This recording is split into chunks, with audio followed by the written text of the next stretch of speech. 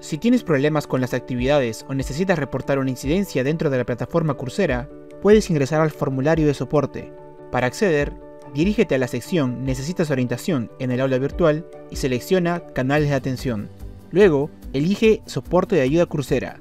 Selecciona la opción Formulario de soporte para reportar el problema. Te recomendamos iniciar sesión en Coursera para adjuntar imágenes o videos que evidencien tu problema. Completa los campos solicitados, tu nombre, correo y describe el problema. Finalmente, enviar formulario.